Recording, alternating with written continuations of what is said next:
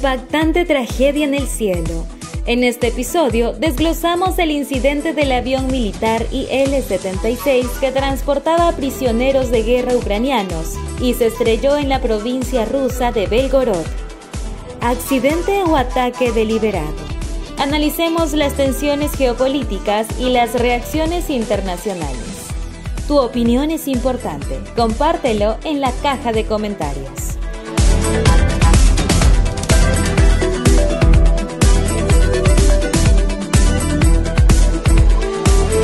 Fatídico incidente ocurrió este miércoles cuando el avión, que transportaba a 65 prisioneros de guerra de las Fuerzas Armadas de Ucrania, se estrelló en un campo cercano a una localidad en la provincia rusa de Belgorod.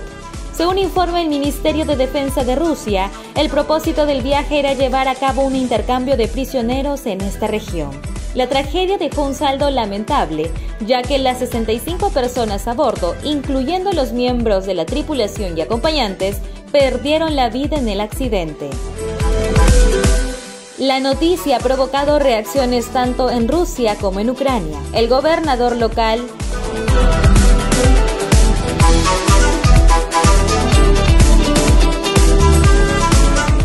Vyacheslav Gladkov confirmó la magnitud del suceso a través de su canal de Telegram, señalando que la zona estaba acordonada. La tragedia ha llevado a una respuesta inmediata de los líderes rusos, quienes han expresado su pesar y han comenzado a analizar las implicaciones de este incidente. El diputado de la Duma estatal, Evgeny Popov, reveló que Ucrania fue informada sobre la ruta del avión antes del vuelo. Esta información cobra relevancia en medio de las crecientes tensiones entre Rusia y Ucrania, donde la comunicación previa sobre la ruta podría convertirse en un punto de conflicto.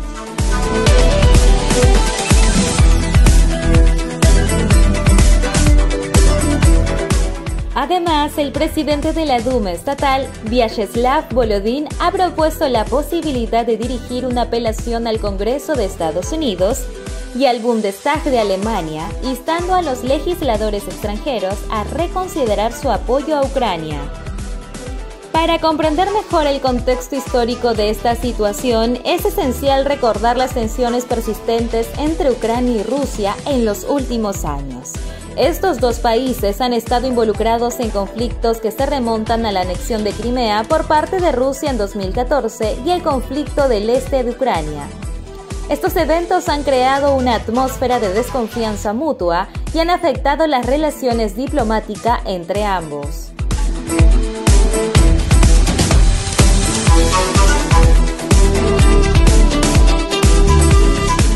Es importante destacar que tras los primeros informes sobre el accidente, el medio ucraniano Ukrainskaya Pravda sugirió citando fuentes propias que el avión fue derribado por las Fuerzas Armadas ucranianas.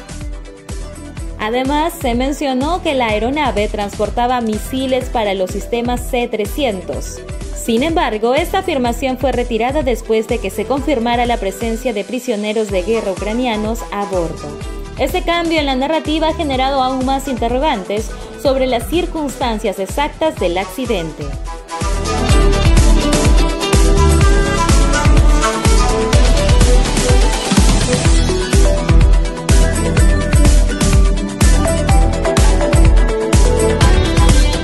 Para comprender el trasfondo de este trágico incidente es crucial remontarnos a los eventos que han marcado las relaciones entre Ucrania y Rusia en los últimos años. La anexión de Crimea por parte de Rusia en 2014 desencadenó tensiones significativas, llevando a sanciones internacionales y contribuyendo a la atmósfera de desconfianza actual. Además, el conflicto con el este de Ucrania entre fuerzas ucranianas y separatistas respaldados por Rusia ha sido una fuente constante de fricción.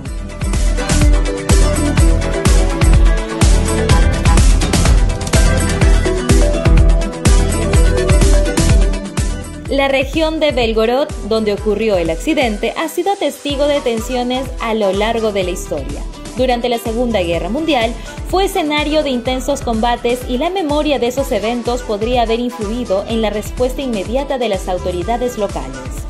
Las cicatrices históricas sumadas a la actualidad del conflicto crea un telón de fondo complejo para comprender las reacciones de Rusia y Ucrania ante este incidente.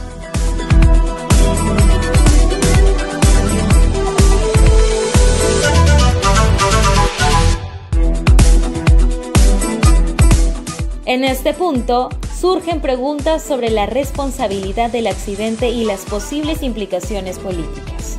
La afirmación inicial de Ukrainskaya Pravda de que el avión fue derribado por las Fuerzas Armadas ucranianas plantea interrogantes sobre la estabilidad interna y la capacidad de control en Ucrania. Sin embargo, la retirada de esta afirmación sugiere que la información inicial podría haber sido incorrecta o mal interpretada.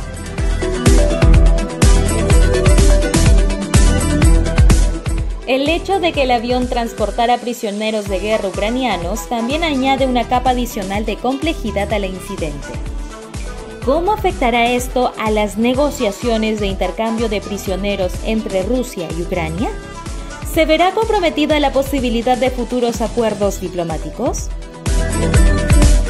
La propuesta de Vyacheslav Volodin de apelar al Congreso de Estados Unidos y al Bundestag de Alemania introduce una dimensión internacional al incidente.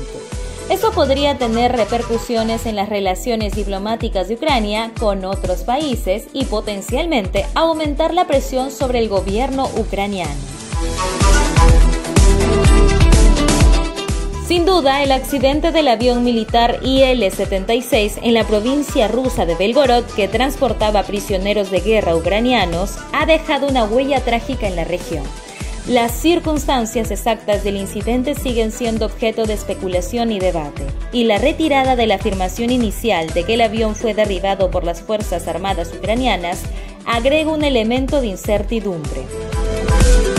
Este trágico suceso no solo impacta a nivel local, sino que también tiene implicaciones a nivel internacional. Las tensiones preexistentes entre Ucrania y Rusia, sumadas a las propuestas de apelación a legisladores extranjeros por parte de Rusia, podrían intensificar aún más la diplomacia entre estos países. A medida que se desarrolle la investigación sobre las causas del accidente, es esencial que la comunidad internacional siga de cerca este incidente y observe cómo afecta las relaciones entre Ucrania y Rusia. Sin duda, este evento resonará en la historia contemporánea como un capítulo trágico que refleja las complejidades y las consecuencias de los conflictos geopolíticos.